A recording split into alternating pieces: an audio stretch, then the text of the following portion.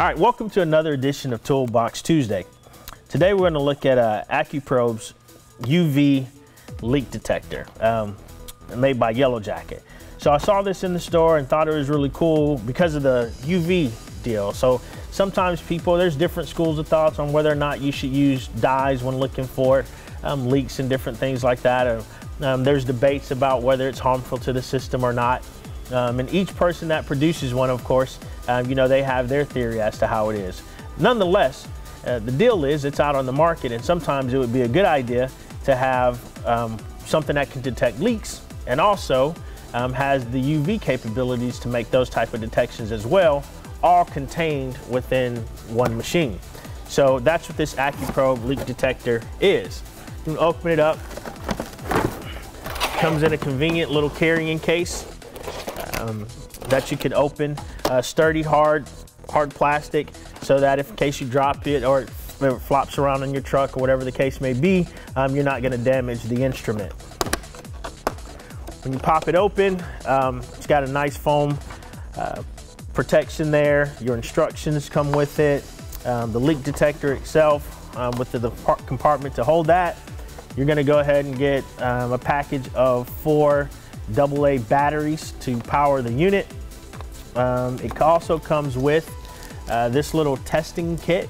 So once you take your leak detector out and you get it all set up, um, you can actually test it um, with this, whatever this stuff is in here, um, according to the to the to the uh, the instructions, and, and, make sure that your leak detection the leak detector is calibrated and working properly. It also comes with these little filter replacement things. Now my hands are way too big. I had the hardest time kind of getting a hold of them, but you take these out and then you're actually gonna replace those um, once the filter inside of the sensor becomes uh, dirty and you need to change it out. When you look at the leak detector itself, um, you'll notice that it has a, a high, normal, or low, normal, and high sensitivity setting. This window is gonna tell us the size of our leak in a range of one to nine. Now it does not say what one to nine means. It just says it's gonna show you the size of a leak in a range from one to nine. So once you turn the unit over and put your batteries in, I went ahead and uh, did, took the liberty of put doing that for us already. There's a couple of things that you do need to notice. Number one, when you screw the tip off, I don't know if you'll be able to see it in the camera, but that little white filter is on the inside of that tip. And also, uh, so that's what you would have to, to change out when you get ready to change out the filter.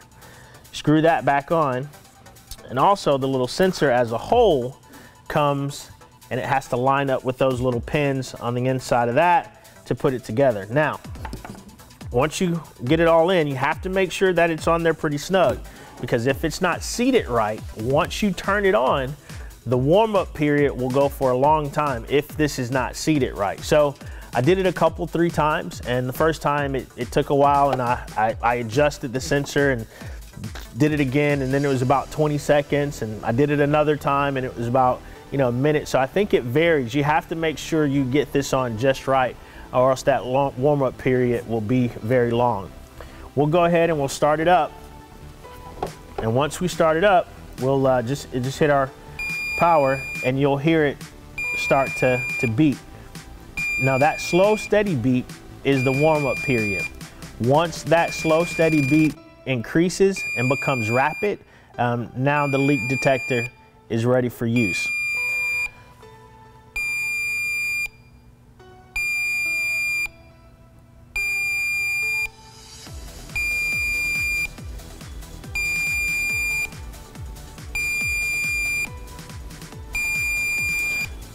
Also on here, I'll show you this while we're waiting for that. Also, um, once you hit the UV button um, you'll see the UV light bulb or the, UV detectors at the top um, in case you have to, uh, you have a system that has UV. And all you do is just hit the button on and off and now you can search um, for your UV leakage.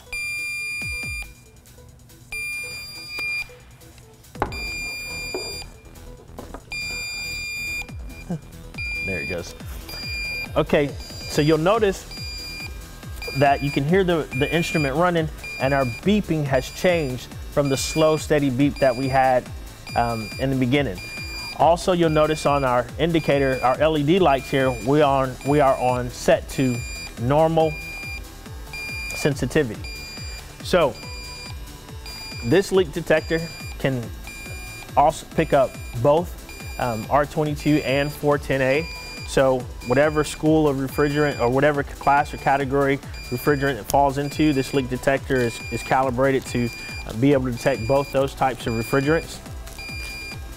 We'll take out our test bottle and once it goes um, on the screen here, we have we don't have any numbers there. So what we'll do is we'll open up our test bottle and the instructions say that we should see a number greater than two. But we open up our test bottle, we'll place our test bottle down, and then we'll kind of point our, our deal right into our test bottle and we should get a reading. So it reads up to up to five right there. So we'll go it again. And so it's supposed to be above two. So as long as that number is above two, um, according to the manufacturer, our leak detector is now ready to go.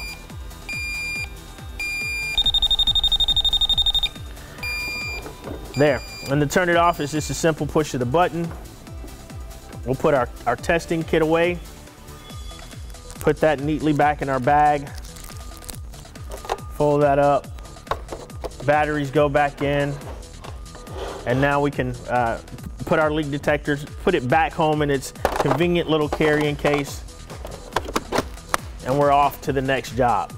Thank you for tuning in to another edition of Toolbox Tuesday, and that was the AccuProbe UV leak detector by Yellow Jacket. See you next time.